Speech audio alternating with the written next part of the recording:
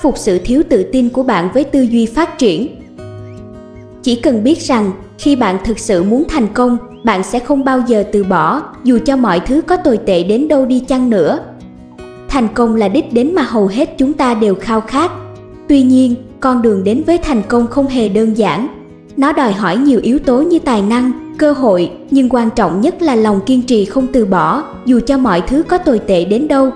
Trong cuộc sống, không ít những câu chuyện về những người từng đối mặt với thất bại, thậm chí rơi vào tận cùng của khó khăn, nhưng chính khát vọng thành công mãnh liệt đã giúp họ không ngừng cố gắng. Họ không chấp nhận đầu hàng trước thử thách mà biến nó thành động lực để tiến xa hơn. Từ Steve Jobs, người từng bị sa thải khỏi công ty do chính mình sáng lập, đến Di, Ca. Rowling, người bị từ chối hàng loạt lần trước khi trở thành tác giả nổi tiếng toàn cầu với loạt truyện Harry Potter tất cả đều là minh chứng sống động cho việc thành công chỉ đến khi bạn không bỏ cuộc, dù hoàn cảnh có tồi tệ đến đâu. Bài viết này sẽ phân tích và chứng minh rằng nếu bạn thực sự muốn thành công, điều quan trọng nhất là không bao giờ từ bỏ, dựa trên ba yếu tố chính: khát vọng thành công, học hỏi từ thất bại và cách vượt qua khó khăn. Khát vọng thành công là nguồn động lực mạnh mẽ giúp con người tiến bước bất chấp mọi rào cản. Khi bạn xác định rõ mục tiêu và khao khát đạt được nó, không điều gì có thể ngăn cản bạn. Từ lịch sử, ta thấy rõ tầm quan trọng của khát vọng thông qua những câu chuyện của những con người vĩ đại. Ví dụ, Thomas Edison đã thất bại hàng ngàn lần trước khi thành công với phát minh bóng đèn điện. Khát vọng mãnh liệt trong việc mang ánh sáng đến cho thế giới đã giúp ông kiên trì thử nghiệm không ngừng, bất chấp những thất bại ban đầu nếu không có động lực từ bên trong, Edison có thể đã bỏ cuộc từ rất lâu trước khi đạt được thành công. Lòng kiên định và tin tưởng vào chính mình cũng là yếu tố quan trọng. Khi bạn biết mình muốn gì và tin rằng mình có thể đạt được điều đó, bạn sẽ không bị lay động bởi những khó khăn tạm thời. Một ví dụ khác là vận động viên điền kinh Usain Bolt, người từng gặp phải nhiều chấn thương trong suốt sự nghiệp. Tuy nhiên, anh không từ bỏ giấc mơ trở thành người chạy nhanh nhất thế giới và cuối cùng đã đạt được điều này qua nhiều năm kiên trì luyện tập. Khát vọng thành công giúp duy trì năng lượng và ý chí trong suốt hành trình dài. Khi bạn có khát vọng đủ lớn, nó sẽ trở thành nguồn động lực bền bỉ, giúp bạn vượt qua những ngày tháng khó khăn. Điều quan trọng là bạn phải hiểu rõ điều mình muốn và không ngừng nỗ lực để đạt được nó. Những người thành công luôn có khát vọng mạnh mẽ và không bao giờ để hoàn cảnh làm nhục chí, thất bại không phải là điều đáng sợ, mà ngược lại, nó chính là bước đệm cần thiết để đạt được thành công.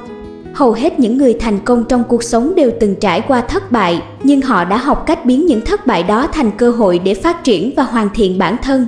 Một minh chứng rõ ràng cho điều này là câu chuyện của nhà phát minh James Dyson. Trước khi phát minh ra chiếc máy hút bụi thành công, Dyson đã phải thử nghiệm và thất bại hơn 5.000 lần. Mỗi lần thất bại, ông lại rút ra bài học và tiếp tục hoàn thiện sản phẩm của mình. Nếu không có sự kiên nhẫn và học hỏi từ những sai lầm, Dyson sẽ không bao giờ có được thành tựu như ngày hôm nay. Thất bại cũng giúp con người trưởng thành hơn. Nó dạy chúng ta về sự kiên trì và lòng quyết tâm. Một ví dụ nổi tiếng khác là câu chuyện của Abraham Lincoln, người đã phải trải qua nhiều lần thất bại trong cả sự nghiệp chính trị lẫn cuộc sống cá nhân trước khi trở thành tổng thống thứ 16 của Hoa Kỳ. Từ những lần thất bại trong tranh cử đến những mất mát gia đình, Lincoln không bao giờ từ bỏ mà luôn tiếp tục đấu tranh để đạt được mục tiêu của mình. Cuối cùng, ông đã ghi dấu ấn trong lịch sử với vai trò là một trong những tổng thống vĩ đại nhất. Điều quan trọng nhất khi đối mặt với thất bại là không để nó làm nản lòng. Thất bại chỉ là một phần của hành trình và mỗi thất bại đều mang lại những bài học quý giá. Như Edison từng nói, tôi không thất bại, tôi chỉ tìm ra 10.000 cách không hoạt động Chính thái độ tích cực và khả năng học hỏi từ thất bại là yếu tố quyết định thành công sau cùng. Những người thành công không sợ thất bại, họ chỉ sợ rằng mình không học được điều gì từ nó. Không có con đường nào đến với thành công mà không gặp phải khó khăn. Điều quan trọng là cách bạn đối mặt và vượt qua những thử thách đó. Một ví dụ nổi bật là Elon Musk, người sáng lập Space và Tesla. Musk đã trải qua rất nhiều khó khăn và thử thách, từ việc suýt phá sản đến những lần tên lửa thất bại ngay trước mắt. Thay vì từ bỏ, ông đã kiên trì tìm cách cải thiện và tiếp tục đầu tư vào các dự án của mình. Kết quả là cả Space và Tesla đều trở thành những công ty dẫn đầu trong ngành công nghiệp vũ trụ và xe điện. Để vượt qua khó khăn, bạn cần thay đổi cách nhìn nhận vấn đề. Thay vì xem khó khăn là rào cản, hãy coi chúng là cơ hội để học hỏi và trưởng thành. Một trong những cách hiệu quả để làm điều này là tập trung vào mục tiêu lớn hơn thay vì bị cuốn vào những khó khăn tạm thời Ví dụ, nhiều vận động viên thể thao như Michael Jordan đã đối mặt với chấn thương và thất bại trong sự nghiệp. Tuy nhiên, bằng cách luôn giữ mục tiêu của mình trong tầm mắt, họ đã vượt qua những khó khăn đó và đạt được những thành công vang dội. Xây dựng tinh thần bền bỉ và không từ bỏ là yếu tố quyết định để vượt qua mọi khó khăn. Những người thành công không cho phép bản thân bị đánh bại bởi hoàn cảnh. Họ kiên trì, nỗ lực không ngừng và không ngại đối mặt với những thử thách khó khăn nhất. Khi bạn có tinh thần thép, không có gì có thể ngăn cản bạn trên con đường đến với thành công. Không ai có thể đạt được thành công một mình, sự ủng hộ và nguồn cảm hứng từ những người xung quanh đóng vai trò vô cùng quan trọng. Những người thành công thường có sự hỗ trợ từ gia đình, bạn bè hoặc các cố vấn những người luôn sẵn lòng giúp đỡ và đồng hành cùng họ qua những giai đoạn khó khăn. Một minh chứng rõ ràng là Steve Jobs, người sáng lập Apple. Trong những giai đoạn thăng trầm của cuộc đời và sự nghiệp, ông luôn có sự hỗ trợ từ những người cộng sự thân thiết như Steve Wozniak. Chính sự hỗ trợ này đã giúp Jobs tiếp tục theo đuổi đam mê và định hình lại tương lai của ngành công nghệ sau khi ông bị sa thải khỏi chính công ty mình đã sáng lập. Bên cạnh sự ủng hộ từ người thân, việc học hỏi từ những người thành công khác cũng là một nguồn cảm hứng quan trọng. Lắng nghe và tìm hiểu về câu chuyện của họ giúp chúng ta có cái nhìn rõ hơn về hành trình đến với thành công. Ví dụ, Oprah Winfrey đã trải qua một tuổi thơ đầy khó khăn, nhưng bà luôn tìm thấy động lực và cảm hứng từ những người đi trước và từ đó biến những thử thách trong cuộc đời thành sức mạnh để phát triển sự nghiệp truyền thông của mình. Oprah đã không chỉ trở thành biểu tượng của sự kiên cường mà còn là nguồn cảm hứng cho hàng triệu người trên thế giới. Ngoài ra, những cuốn sách, bài diễn thuyết hoặc phim ảnh cũng là những nguồn cảm hứng tuyệt vời giúp bạn duy trì ý chí. Một câu chuyện nổi bật khác là cuốn sách Từ tốt đến vĩ đại của Jim Collins, trong đó tác giả chia sẻ những câu chuyện thành công của nhiều công ty và người lãnh đạo. Đọc và hiểu những kinh nghiệm này giúp bạn cảm thấy không đơn độc trên hành trình của mình.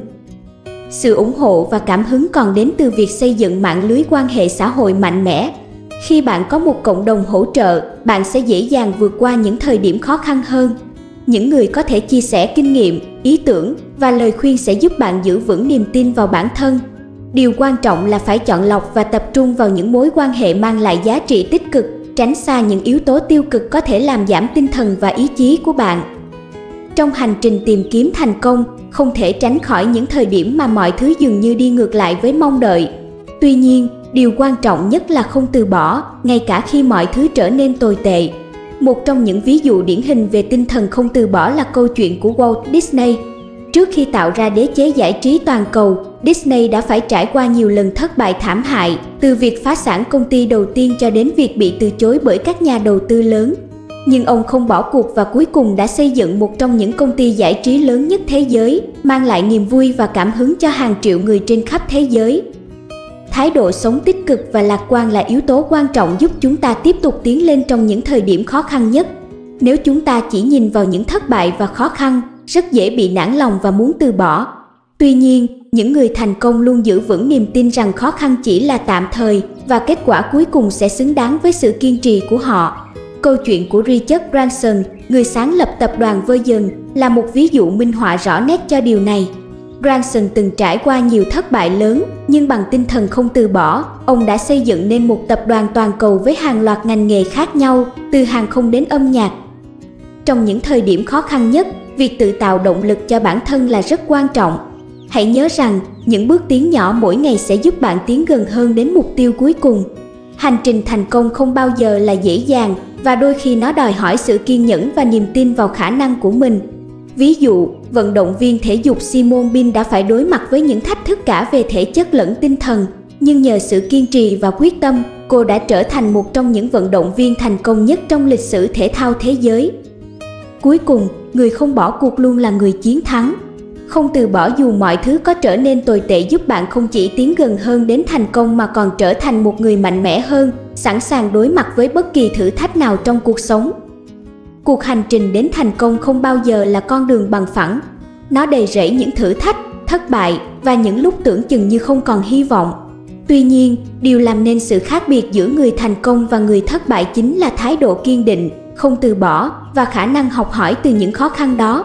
Dù hoàn cảnh có tồi tệ đến đâu, nếu bạn thực sự khao khát thành công, bạn sẽ tìm ra cách để vượt qua. Câu chuyện của những người như Thomas Edison, Steve Jobs hay Oprah Winfrey đều minh chứng cho bài học quý giá này. bài học lớn nhất mà chúng ta có thể rút ra là khi bạn thực sự muốn thành công, hãy tin vào bản thân và không bao giờ từ bỏ, dù cho mọi thứ có trở nên tồi tệ đến mức nào. Khát vọng, sự kiên trì, tinh thần lạc quan và khả năng đối mặt với thử thách chính là những chìa khóa dẫn đến thành công. Những người thành công không phải là những người không bao giờ gặp khó khăn, mà là những người biết cách vượt qua chúng. Thành công là một hành trình dài và chỉ những ai bền bỉ, kiên nhẫn và không từ bỏ mới có thể đến được đích.